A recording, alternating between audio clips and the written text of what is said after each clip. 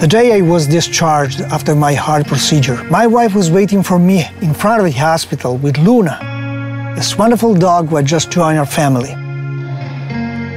No one has ever been able to convince me to do some exercise. But since Luna's been around, I've been going for a walk three times a day.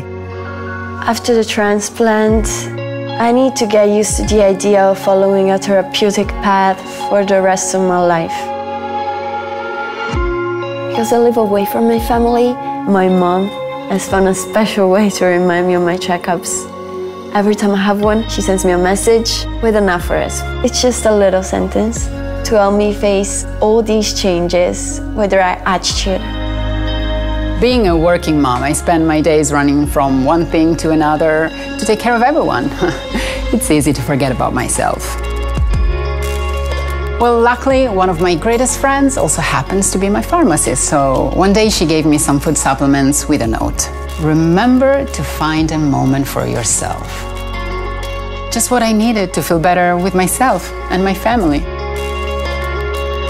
Taking care of someone is the mission of a lifetime. That's why we are proud to be in there with all the caregivers that live every day to make someone's life a bit better. Chiesi. Live to care.